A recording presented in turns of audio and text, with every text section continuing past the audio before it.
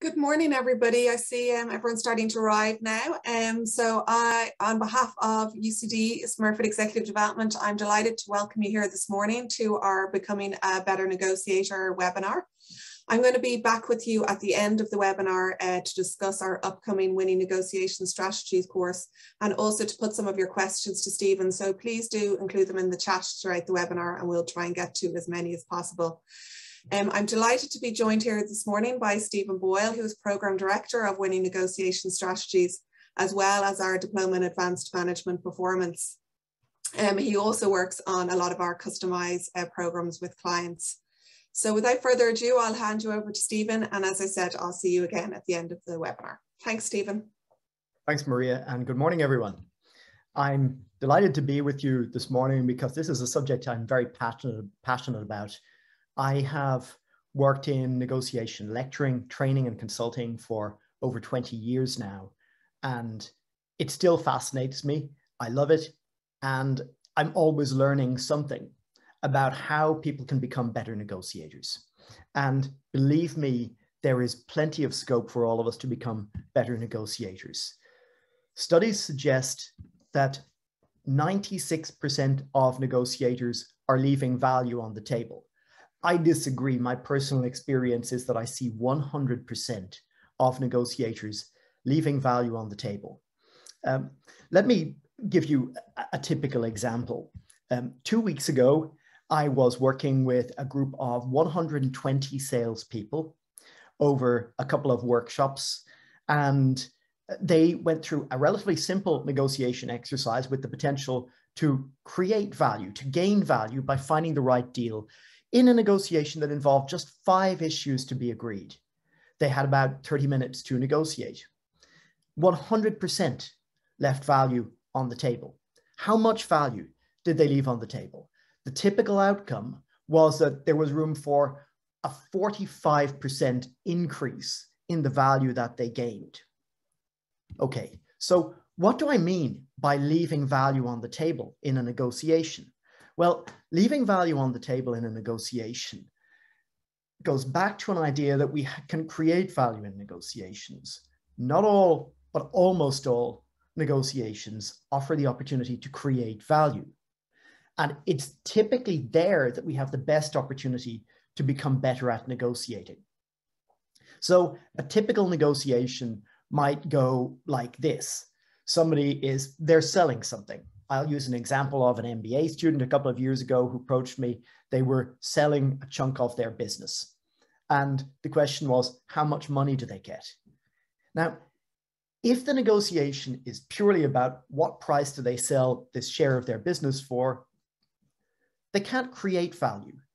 They can only maybe capture a slice of it. Any gain to them is a, a cost to the buyer. The business doesn't change and they get more money. Or if they get less than they were hoping, it's a loss to them and a win to the other side. And so we have this idea of win lose. We can also look at it as the pie of negotiation, the pie that's being divided is fixed. But suppose they think about ways to create value. Suppose they think about what they want and what the buyer wants. Let's say that the buyer is trying to keep the price down because they've got a certain treasure chest for buying up section pieces of businesses that they're interested in. So their immediate cash flow is limited. Now, let's suppose that the that this MBA student is interested in in money, but the timing of the money isn't such a concern. What about a payment now? But it's like a down payment and installments pay payments later that perhaps add up to far more than they could have got limited by how much the buyer can afford to pay right now. What if we took that idea a step further and add in an, added in another element? And let's say we make those payments dependent, contingent on something that may be of value to the buyer. Let's suppose that for the first year or so, the student remains involved in the business in some advisory capacity. Okay, further inflating the payment, but also adding value for the buyer. Let's suppose we add more, like we think about how the, the student is convinced that there's upside potential in the business that isn't, isn't really reflected in the buyer's valuation. So there are contingent payments on future performance of the business, maybe in the first two or three years, and so on. And so far, we haven't got away from any issue other than how much money it is, but we've split that issue. So value can be created. Okay, so value can be created, but unfortunately, the vast majority of negotiators are not doing a good job of creating value. Okay, so why is that? What's going wrong? Um, well, there can be a whole variety of, of problems that are getting in the way of being better negotiators. But I like to lump them into a few areas. And I'm going to explore some of those areas with you. And then a little later, I'll explain what we can do to move beyond these problems and become better negotiators and how I help people to do that in the Winning Negotiation Strategies program. Okay, so the first thing that's going wrong is, is uh, the way we learn to negotiate. And I'd like you to think for a moment about how you learned to negotiate. Um, what kind of experience was it? Was it a formal learning experience or an informal learning experience? Was it specific to a job you were doing? When did you start to learn to negotiate? Okay, so you've thought about that for a moment. Most people, you're probably thinking, well, I learned through largely informal learning, right? Trial and error. Maybe a few of you have been to negotiation courses, but I would say that's a minority. Um, you may also have learned with some guidance from others, right? But they learned in the same way as you. And the learning process probably started when you were a tiny little kid, right? If you've got children, you realize that children of all ages negotiate a lot, right? When they're tiny kids, they negotiate about their bedtime or sweeties or toys. As they get a bit older, the toys get more expensive. It's video consoles, um, game consoles, I mean, you know, mobile phones, that kind of stuff. Bedtime becomes curfew. Can I go to this party, this disco, and so on? As they're teenagers and young adults, it becomes more about money, right? Or use of the car or that kind of stuff, right? And, and that applies to all of us. We may not have negotiated about all those things, but we negotiated about some of those. Right. So that's how we learn. And if you think about it, it means we're negotiating all the time. Think about the types of situations in which you negotiate. So that's one example. But if you don't have kids, um, you almost certainly, it's almost certain that all of you, or most of you, uh, don't live on your own. You share an accommodation either with a partner or with some friends or with some students. Or if you don't do that, you work with other people. In other words, unless you're a total hermit, you interact with other people and you negotiate with them at some level. And if you've got friends, which I hope you do, you negotiate with your friends. You just don't call it negotiation. Okay. So you're negotiating all the time. And you're learning to negotiate on the basis of the feedback that you get.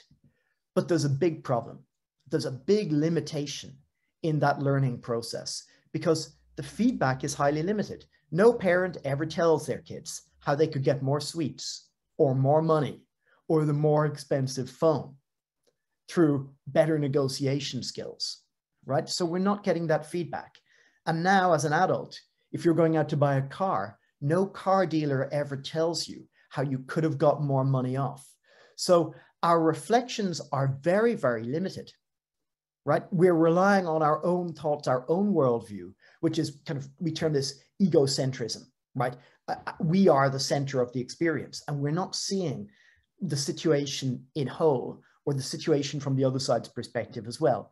So our learning is seriously flawed, and we're likely to keep on negotiating, therefore, in the same way, right? Okay. Um, and that's all right if we're negotiating in the right way. But the problem is that there are probably two, we could say there's two dominant approaches or models to negotiation, both of which are wrong. Now, I'm going to explore those in a little bit more detail with you in a few minutes.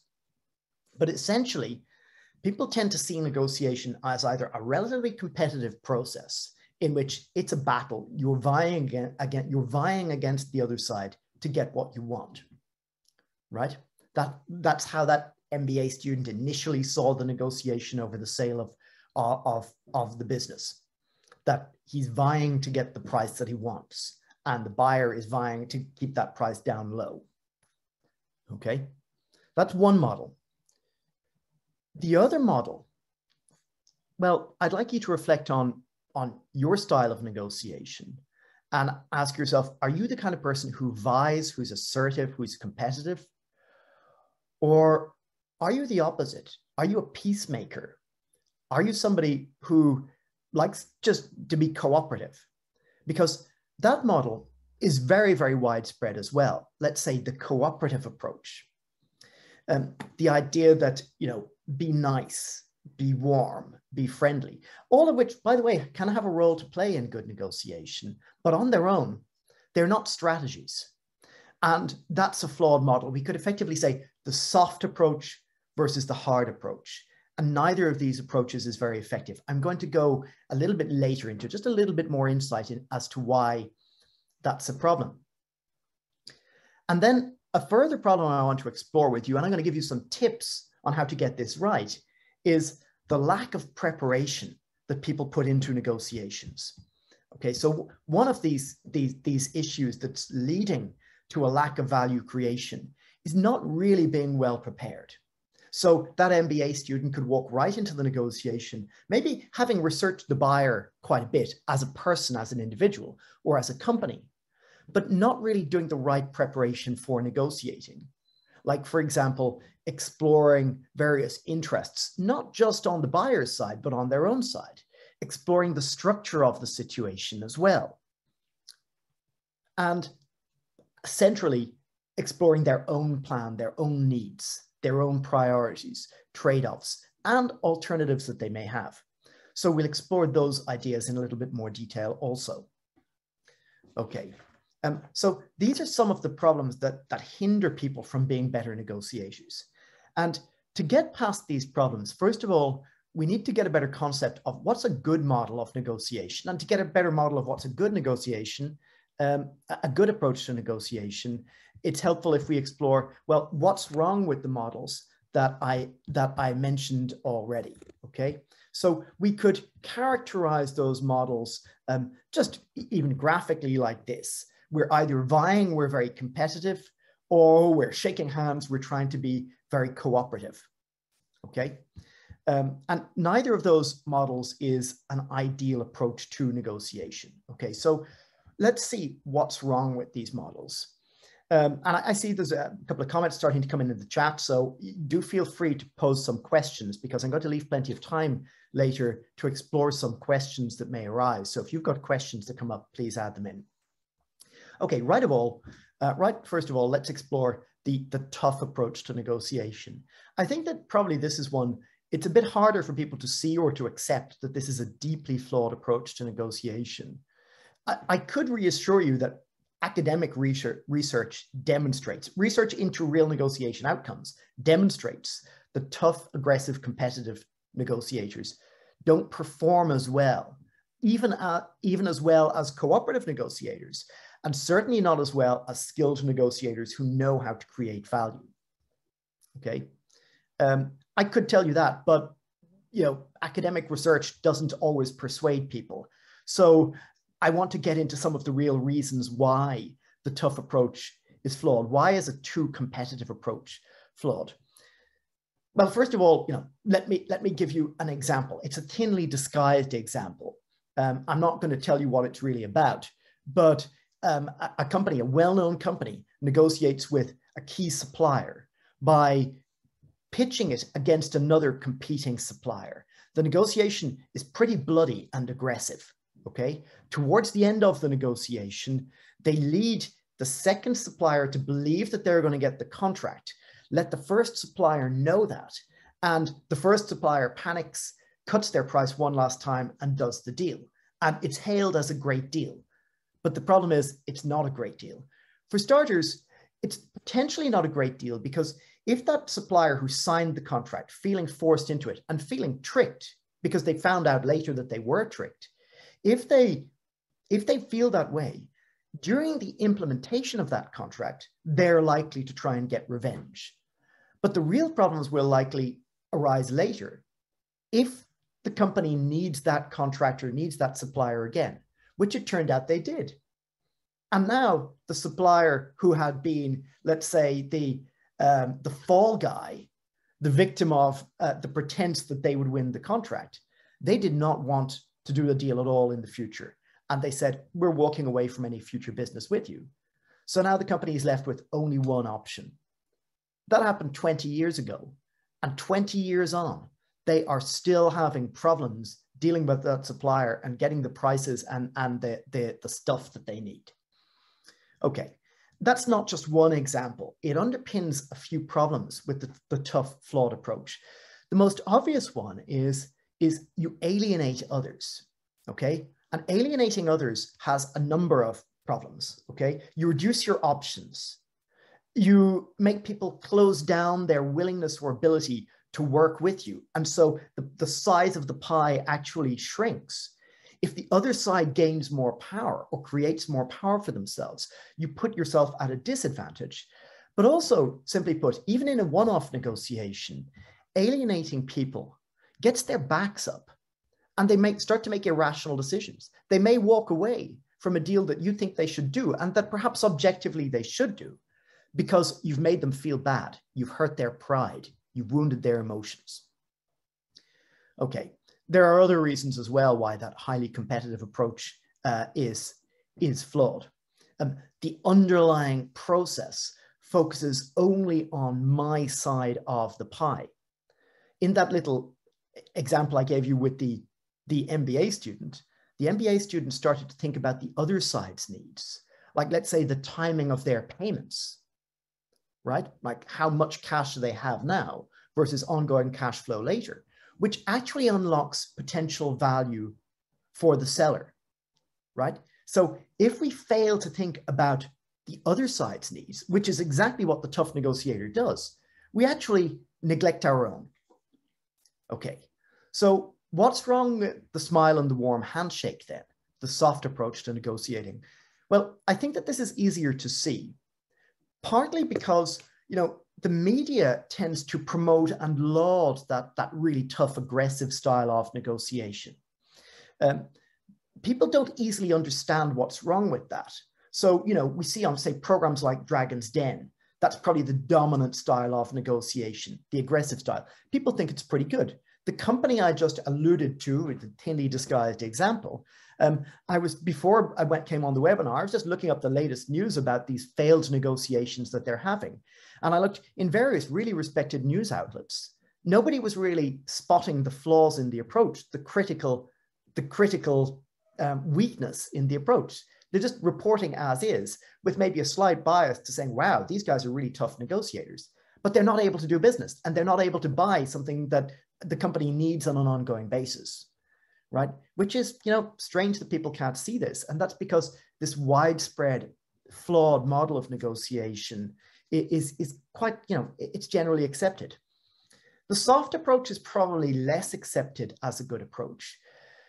Um, but very often the, the concept of win-win negotiation is mistakenly believed to be a soft approach, that it's about, well, if you're warm, if you're nice to people, um, if you have a win-win mentality, it will work. But unfortunately, that's not a strategy. Sometimes people believe that they should set aside, neglect their own interests in order to buy the relationship. So in other words, at the heart of this is it's recognizing that the relationship is important, but then seeing that there's a feeling that there's a dilemma that, well, to protect that relationship, I can't go too hard on my interests. Okay, so that's that's a bit of a problem. Okay, and to get beyond that problem, we need to have a better model of negotiation. But that model actually begins with being well prepared for negotiations. And the lack of preparation or the wrong kind of preparation is also a contributor to people leaving value out and not getting as good a deal as they could. Okay, so I just want to explore some ideas and give you some tips about what good preparation looks like for negotiation. Um, well, good preparation means having a plan.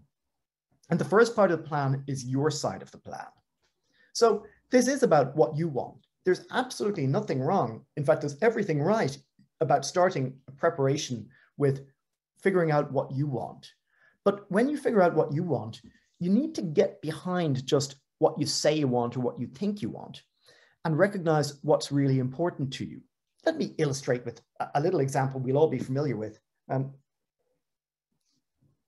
this time last year, here in Ireland and in many other parts of the world, um, vaccination programs against COVID were finally being rolled out.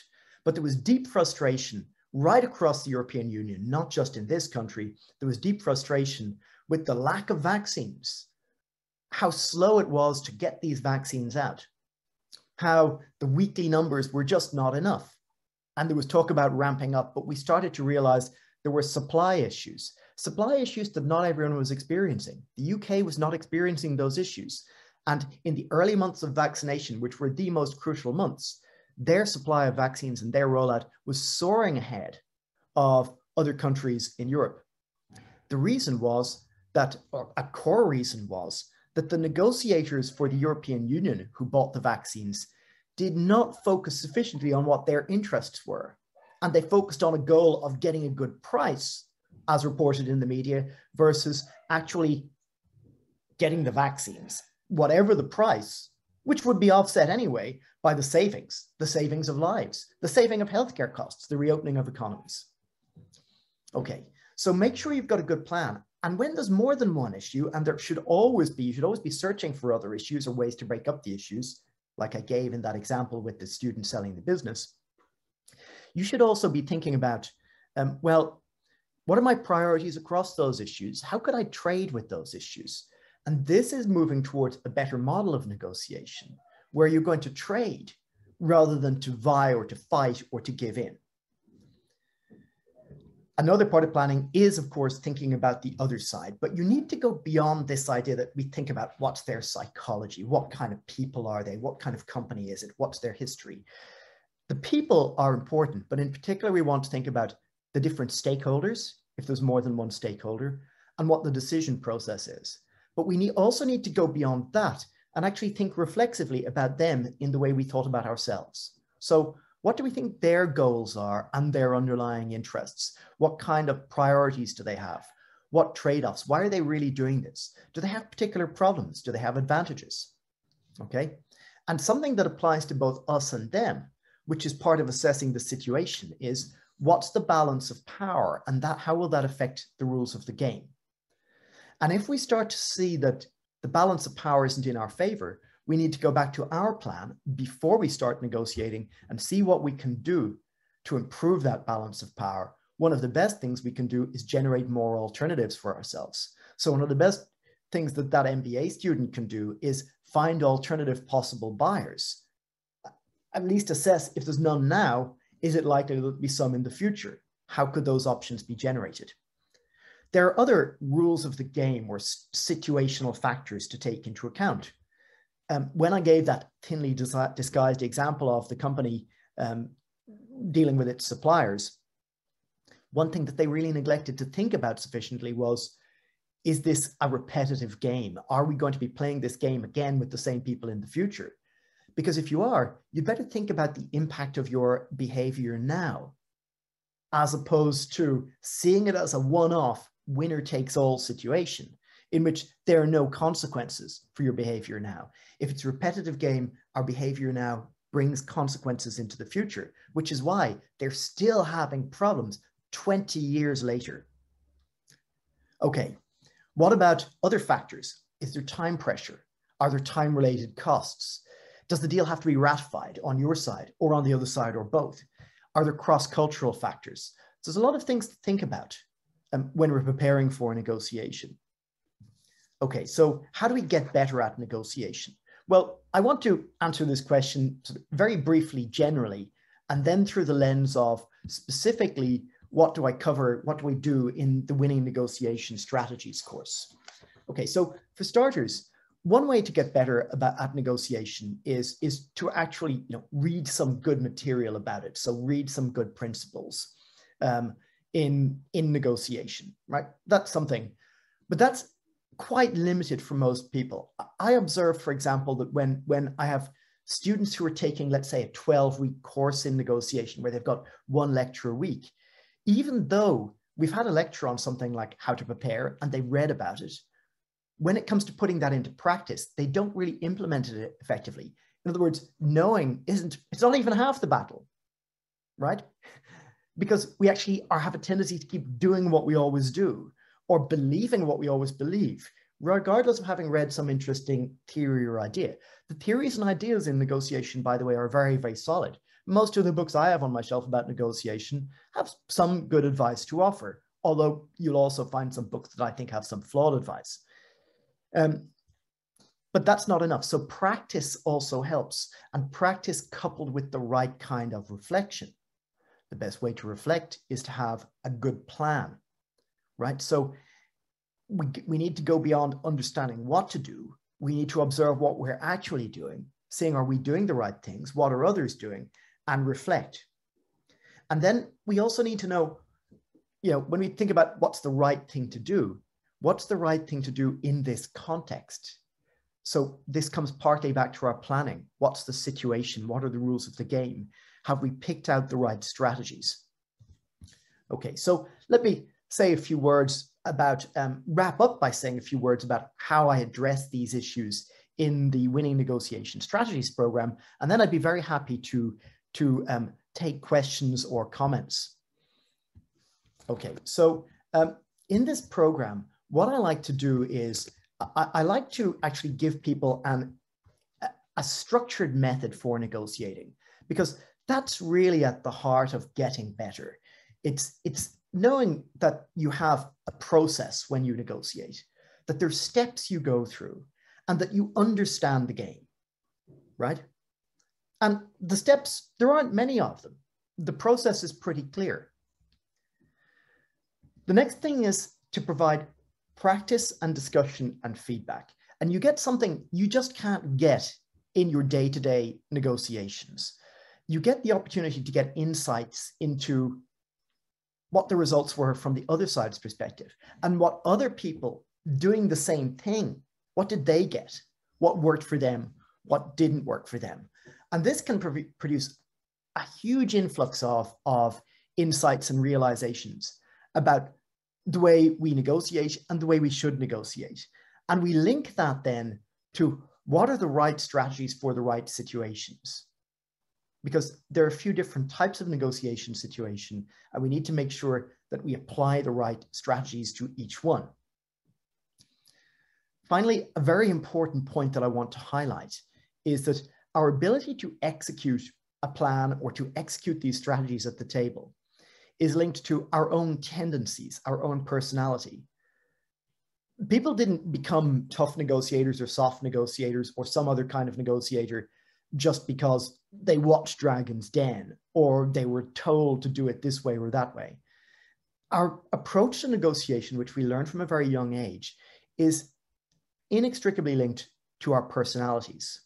So personal insight is a very important part of learning to become better negotiators, understanding our personalities, our cultural tendencies that lead us to behave in a certain way, that lead us to see what are our strengths, but also perhaps what are our limitations. We don't have to change our personalities or our cultural viewpoints or, or traits to become better negotiators.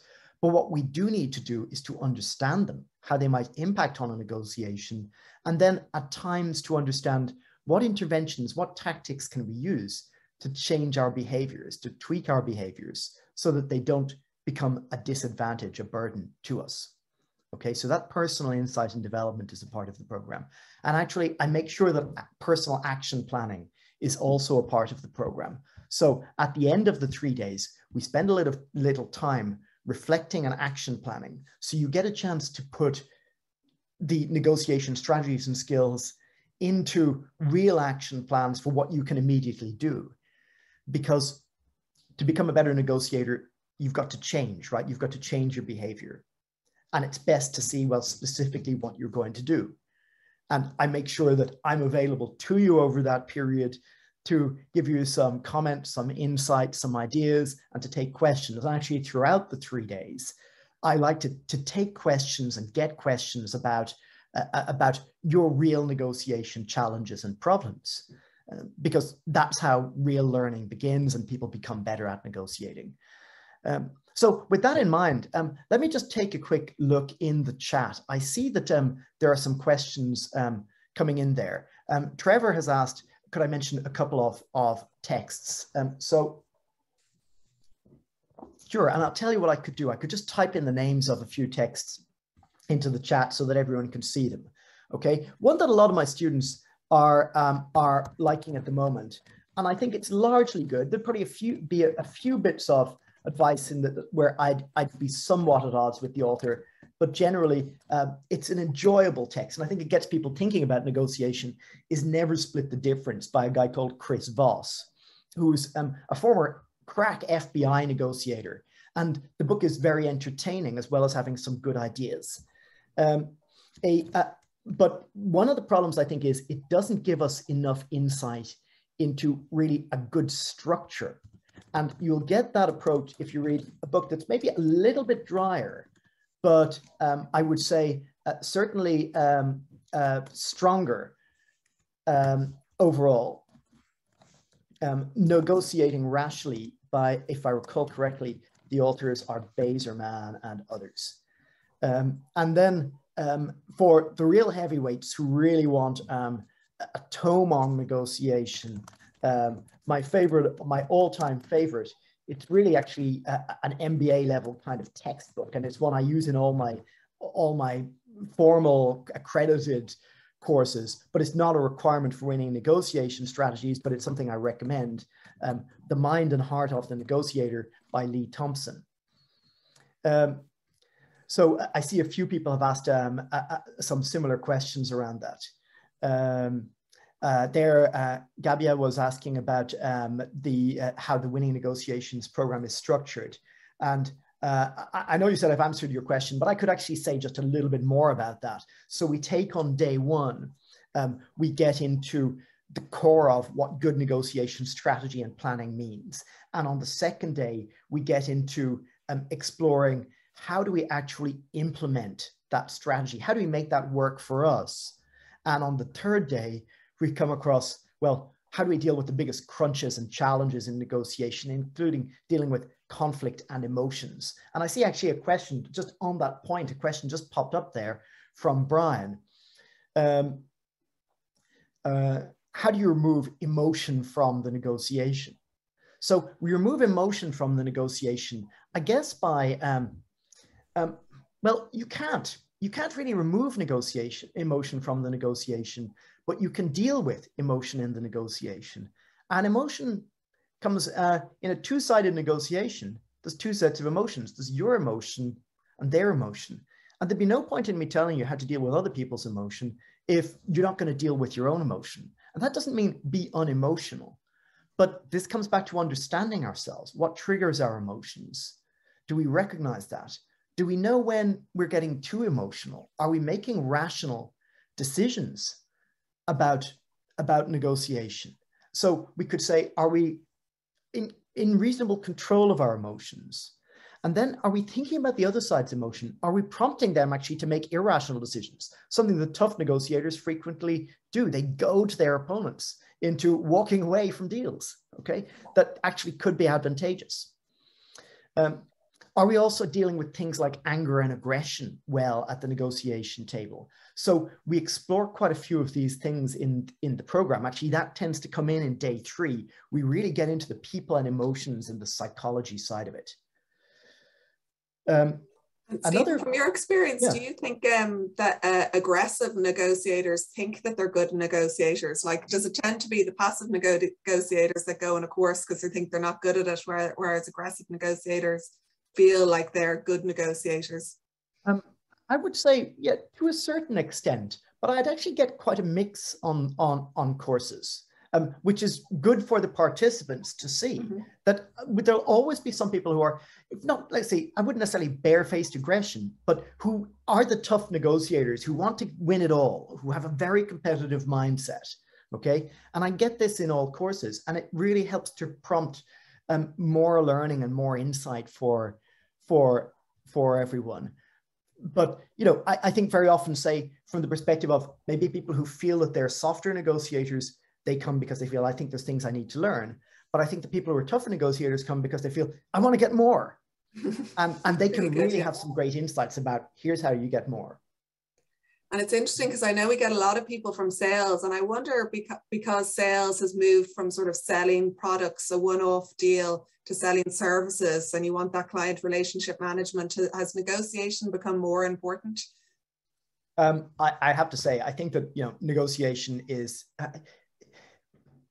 it never really goes away, but I suppose it has become more important. I mean, even if we think, you know, a, a lot of people are realizing now that there's more draws on their time, that they're just busier and that's even that requires more negotiation because other people want you to do things and we're negotiating around that. Um, so actually one of the questions that came up there was, could I give some real world situations where we could practice, like in small everyday interactions? So I suppose I could say, well, think about small everyday interactions um, in which you're not going to necessarily offend your counterparts, like they might be friends or family, and then think about, well, how you could practice in those situations. Think about what are we actually negotiating about? And rather than just diving in straight away, take a few minutes to step back and prepare to think about, okay, so what does she want? And what do I want? And do we really have all of the issues on the table here? Are there other issues we can introduce? Could we divide this issue up? So, of course, to practice, you want to have a bit of structure there to to uh, to build out the, the, the skills. And practicing on maybe doing a few things at a time like practicing on asking more questions or becoming a better listener could be part of that. Um, another question that came into uh, me uh, directly there was um, how many people attend the program and roughly what's the percentage of theory teaching versus practice and exercise? Okay so um, Maria, you might have a good idea of how many people are we expecting to attend, are we expecting to attend on this occasion, would you say? Uh, uh, it's between 20 and 24 normally. Yeah, that would be typical. Yeah. Um, so it's small enough. There's great opportunity for input, questions, discussion for everyone, and large enough that when we do some negotiations, we get lots of variety in the approaches and the results, and that really helps us to learn. Mm-hmm. Um, and another part of that question was the percentage of theory teaching versus practice exercise. I guess I'd say it's roughly half and half. Okay. Um, so if we're not doing practice exercise, we're doing a, we're, we have we have one pretty large case study that we also discuss, which I would put in the in in the category of practice and exercise okay, because I asked people to relate it to their views on negotiation and their experience. So it's probably about half and half. It, it's certainly a nice balance. Um, you know, participants seem to really like, even people who feel, oh, I don't know if I like role play, participants really get into it because you're not actually put up on a stage on a podium. You're not asked to sit down in the middle of the class with everyone in a semicircle watching you. Uh, actually, everyone goes off, breaks out, does their negotiation just in typically i do them one-on-one and we come back and we discuss the process and the results so there's a kind of a safety in it everyone's in the same boat I think one of the things the participants, when they come on, some of them might be lacking in confidence. And I guess doing the preparedness and having the plan helps you in negotiation and being more confident as well. Um, it certainly does. And confidence is a very important part of negotiation both in terms of your, your ability to pull it off, your ability to even just as much as say, ask for what it is that you want. Um, but it also actually plays an instrumental role in being powerful in negotiation uh, and increasing the perception of your power in negotiation. And that's something that participants can really get and also can learn about how to be more confident, how to actually make themselves feel more confident and more powerful. Um, I, I see another question that came up there was um, James asked, would hiring a new employee be considered a repetitive game or a subsegment of a repetitive game? And absolutely, hiring an employee is is most definitely it's a repetitive negotiation because when we say repetitive game, what we mean is are we going to be negotiating again in the future? So if you hire someone who's going to be working for you, you're absolutely going to be negotiating all the time. Okay, so we have to think about that. And do you find, Stephen, that um, people find it harder to negotiate for themselves uh, rather than their company, say, in, in, in, getting a promotion or wage conversations? Um, yeah, absolutely. Uh, this actually relates to a phenomenon which we probably explore in, in the module. You know, it's a question that often comes up in the program um, that we quite often in negotiations, and this especially applies to people who think their style might be a little bit soft, we're a bit concerned about something called social backlash, which is basically that we're perceived to damage the relationship and the we get a little bit of relationship backlash, social backlash, as psychologists call it. And especially if we're negotiating about something that's for ourselves personally, this may cause us to go softer than we normally would, or even sometimes to avoid a negotiation because we're concerned too much about the social backlash. Um, there are tactics that we can use to overcome that. Now, generally, having better confidence, but specifically, actually, it, it's been demonstrated that if people go in with a mindset that although they're negotiating something for themselves, go in imagining what would I do if I were negotiating this for someone else, like let's say for my sister or mm-hmm. my most valued employee or team member, how would I go about doing it?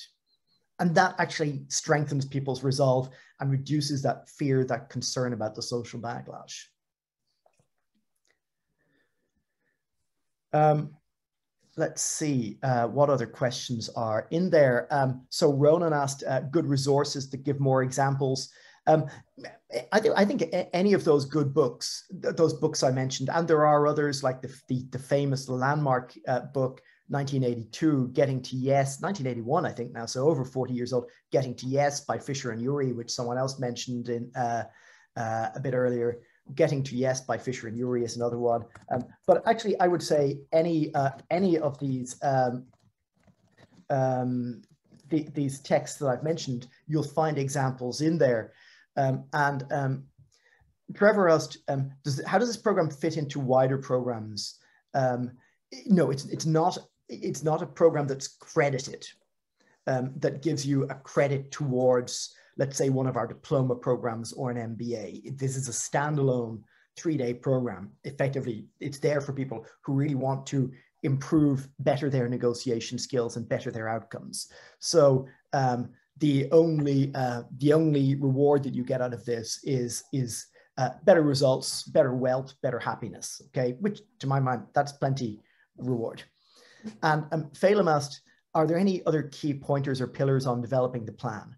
Okay, I'd say kind of generally speaking, you have to come on the course. Okay, so but I have given some tips here, like you know how you think about your goals, how you think about your priorities. Um, have you thought about what your fallback position is? And aspects of the other side of the situation, all of which we explore in a lot more detail and context in the, in the program. Um, and Ruth has asked, do we get a certificate of merit? Absolutely. There is a certificate of merit. There's a certificate of completion of the program, something that you can um, uh, frame and hang on your wall, um, but take it down when you're negotiating with someone. You don't necessarily want them to know just how good you are. Okay. Um, uh, Sylvain has asked, um, any um, insights in the course on negotiating with different cultural environments, businesses based in non-Western or English-speaking countries like Japan, Asia, Eastern European, Eastern Europe, Latin America, France. And I would say this is a topic that I usually do cover. I don't always cover it because I, I like actually to leave a little bit of room in the course for participants to talk about what's most relevant to them. And usually and increasingly, people say, this is really relevant to us. Okay. So um, I give some really solid guidance about what you can do. Um, so, uh, and then James asked, um, does the course go into different mediums of communication or negotiation? That again is something that can come up. And I think what James is probably referring to there is like, what if you're negotiating virtually or by email as opposed to face-to-face in-person negotiation. And that is something that um, that we, you know, if the question arises, if people are doing a lot of that, it's something where we can actually absolutely give some pointers. Um, I'm going to hand you over to Maria now because Maria has has um, a few more um, uh, points to make about the, uh, the program. Um, so let me pass you over to Maria there, and I'll just put the slides up there for you. Great, thanks, Steve.